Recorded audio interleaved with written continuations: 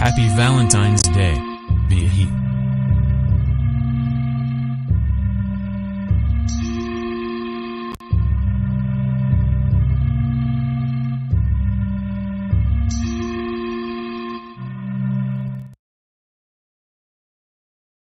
Lisa, I need your help.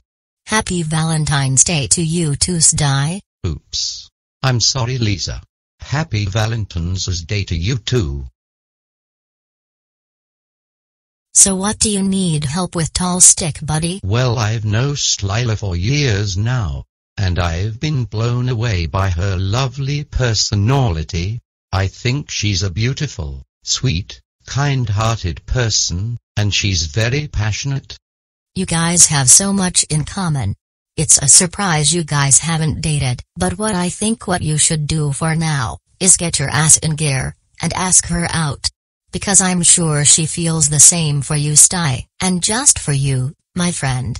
I'll give you these boxes of chocolates, we have a La Shago Valentine's Day sale, so we have small box, medium box, and large boxes of chocolates. Thanks for the boxes, Lisa, and have a wonderful Valentine's Day. You're very welcome. And happy Valentine's Day to you too. Look at everyone having a great Valentine's Day, I'm happy for them. Hey I need directions to magic photography. Um, I think you make a right on Turlino Road and make a left when you see Jan's bar, and there you see magic photography. Thank you by the way I'm Mark. Oh, it's nice to meet you, Mark. I'm Lisa nice to meet you. Happy Valentine's Day.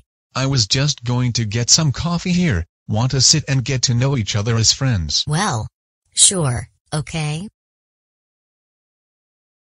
You know Elisa right. Yes, I do. And I think she likes you. I think I'm going to ask her to be my Valentine. Oh, that's nice. Well, I wish you luck, bro.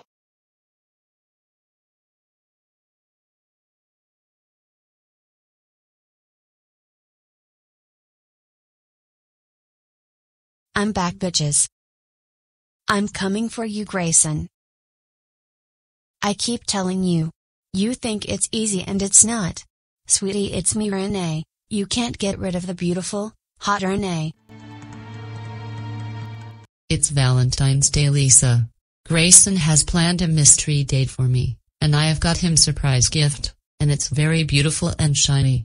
That's wonderful plus I met this guy Mark.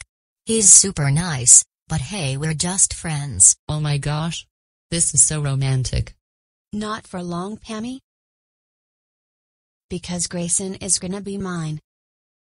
Renee,